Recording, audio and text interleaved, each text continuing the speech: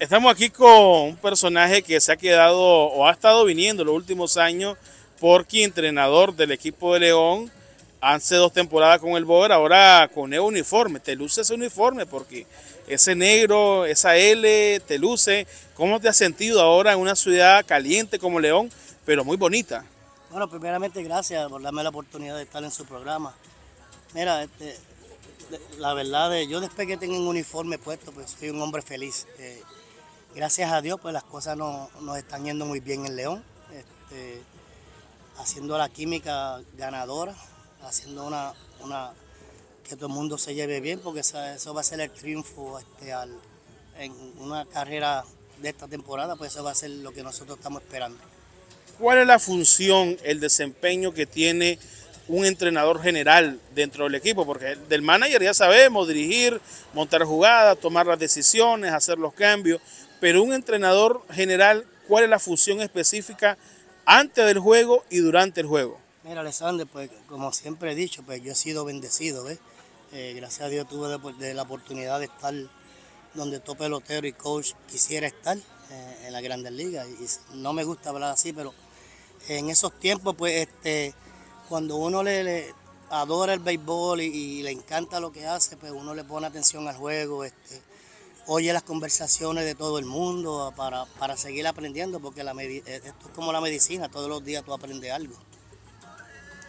Pero el función, el, tu función dentro del equipo, ¿cuál es? Le, asesorar a Sandor, estar eh, a cargo de las prácticas, qué tipo de entrenamiento a realizar en días diferentes, hablando del funcionamiento como tal. Pues mira, papá, este, eh, cuando, cuando empezamos el entrenamiento de nosotros, pues eh, Sandor me dijo, mira, porque este, nosotros lo que queremos es pues, que con tu experiencia nos ayude, y, especialmente a mí, yo quiero seguir aprendiendo, pues pues ahora mismo, pues yo con mi papelito, pues hago mis notas, este, hablamos, hablo mucho en el juego con, con el pitching con Salcedo, eh, con Henry, con Yader, con todos los coaches, tratando a ellos pues de, ayudarlos porque ellos tienen el deseo de aprender y, para mí, para mí de verdad me siento muy bien que ellos me han dado esa confianza, pero prácticamente es este, tratar de, de hacer todas las notitas que pasan en el juego y, y dárselas a ellos después del juego y hablar y dialogar a ver, para ver cómo se puede mejorar al otro día. Hoy estuviste con la selección en, el, en la Serie del Caribe, con el equipo de Nicaragua en la Serie del Caribe. Me imagino que estás abierto a la posibilidad de que te tomen en cuenta a la selección que va a estar en el preclásico. Bueno, antes hay una serie que le llaman la serie de, de las Américas, pero lo más fuerte es el preclásico que va a ser en China. ¿Estás anuente a poder participar con Nicaragua? Pues mira, mira, sinceramente, este, hay, hay situaciones que uno, uno no puede controlar. Eh, yo sí, yo sí, seguro, si, si están dispuestos y necesitan los servicios, pues seguro que sí. Eh, como siempre he dicho, eh, Nicaragua desde que viene el primer año, pues siempre me, me llegó algo en el corazón que, aquí hay talento. Y, lo demostraron en la Serie Caribe, no ganamos ningún juego, pero los peloteros lucieron muy bien y y creo que ya vieron, están viendo la diferencia este año de, lo, de, la, de, la, calidad que está la liga. Eh, yo creo que en los próximos torneos internacionales, yo creo que el equipo de Nicaragua va a hacer mejor, mejor papel eh, en relación con los extranjeros que están viniendo, sin quitarle crédito al, talento que hay aquí en Nicaragua. Trabajaste como, con Marvin Benar como manager, quizás ahora no va a estar Benar eh, dirigiendo la selección. Desde tu perspectiva como técnico, ¿Quién crees idóneo vos para ese cargo de timonel del equipo? Bueno, ahora mismo pues eso, eso es difícil para mí decirlo, ¿entiendes? Pero eh, hay buenos candidatos, ¿sabes? Ya todo el mundo sabe los candidatos que hay. Está Sandor, está Picota.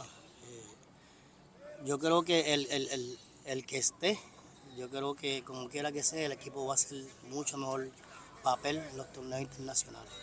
¿Te ha gustado tanto Nicaragua que estarías dispuesto a quedarte en el Pomare, ayudar a los equipos del Pomare, ser manager en el Pomare?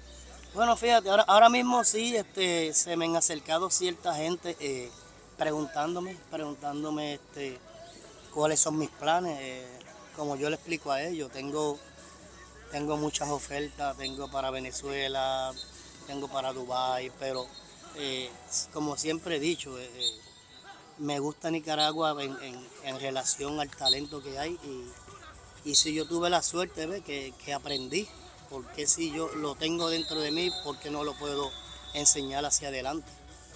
¿Estarías dispuesto a dirigir un equipo del Pomar entonces? Si se da, pues creo que sí, creo que sí. Eh, no creo que, que, sea tan difícil, sí, hay, eh, he preguntado, hay muchas reglas que, que, yo no, ahora mismo no las conozco.